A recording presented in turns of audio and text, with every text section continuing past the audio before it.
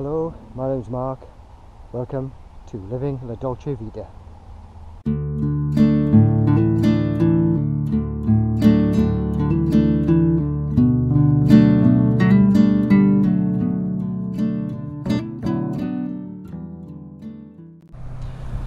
Well, good morning everybody and uh, welcome back to my channel, Living La Dolce Vita.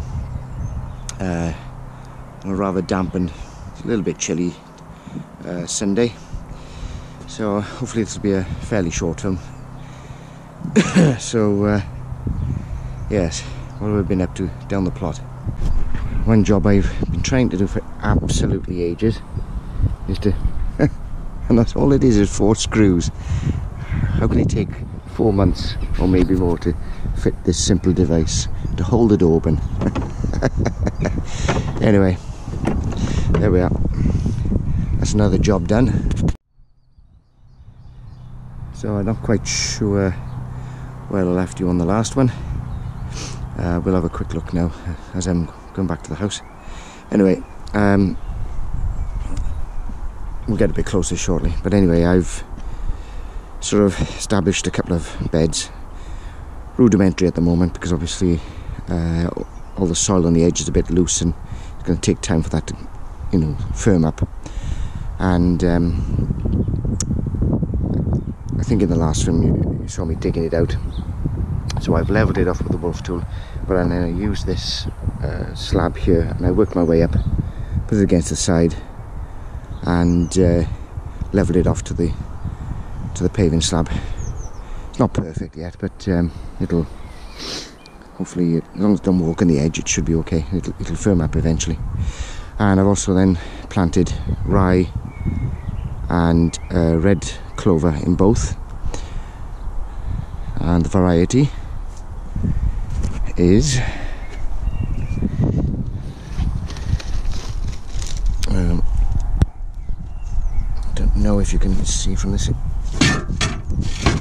don't know if you can see from this angle but the, the late flowering red clover rosette rosetta oh, I'd imagine that is and the ryegrass is let's see there's the label for that?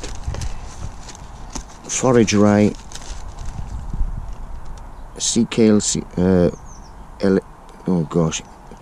Elego elego organic whatever that is. Anyway so those are the two uh, seeds I've put in. Uh, yes still looking a bit of a, like a bomb site.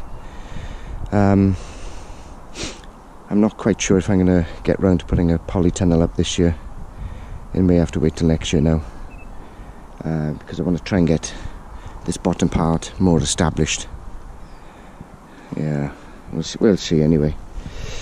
But as you can see I've started putting all the hedge clippings that I generated uh, either last year or the year before started filling up the trench there. I'll do a similar thing on this small trench here eventually and maybe on this trench here as well. Uh, this has got to be widened this trench is going to be widened yet. So all I need I was going to do it today but um, it's a bit wet and uh, a bit mucky underfoot so I'm, what I'm going to do is I'm just going to leave it till I get a, a dry spell for a few days. And uh, hopefully sunny as well.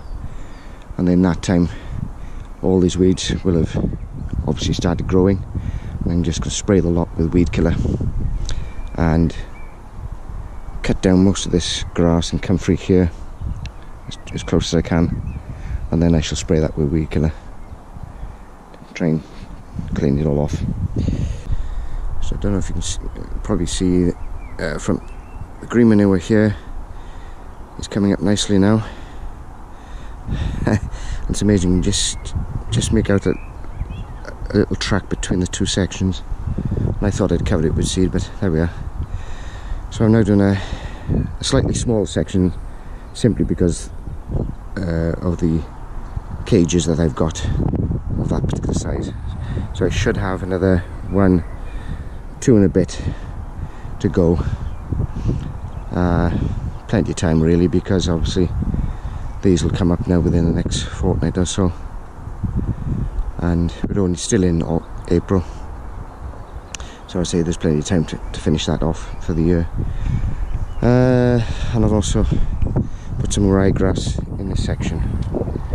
Um, there was a reason. Uh, I think maybe to collect the seed but to be honest um, I'll let this section go to seed as well so uh, yeah. Oh now the, what I want to mention about the red clover it's a uh, perennial. So uh, it'll just keep growing. So so to terminate it I have either got to dig it in or spray it with weed killer. Uh, and it's probably going to be a weed killer because I, obviously I can't dig this otherwise the edge of the border will collapse in. So or I could probably cover it with plastic that might kill it off. We'll see. Um, but it's just a one-off to get the fertility into the soil. And after that then I can I can put other fertility methods by either broad beans or something like that. Or other, some sort of legume. Right. So I think I've made a decision on this piece here uh, once it's all all this debris is cleared away. Um, I think I will grass it over. Uh, by some by some turf I expect. Just cover it all over and then just cut enough space around each bush to put wood chips down to suppress the weeds. Yeah I think that might be a nice uh, I've got potatoes coming up and broad beans yes now that potato that's coming up there I'm not quite sure if it's the one I planted or whether it's a leftover from last year um, I suspect it's a leftover because I would have thought the others would have been up by now. Although, yeah, those are up. And they're not matching the ridge, which is bizarre. So I thought I was quite fussy with that. Anyway, not to worry. So as you can see, my asparagus is starting to come up. Now, I'm not quite sure why, but this particular asparagus crown has come up really quick and fast. Can it be quick and fast? Hmm. I'm not sure why, but uh, this um, asparagus crown has shot up, and yet the rest, although they are coming, starting to come through, because you can see the soil breaking as they're pushing up. But um, yes they they were way behind. Anyway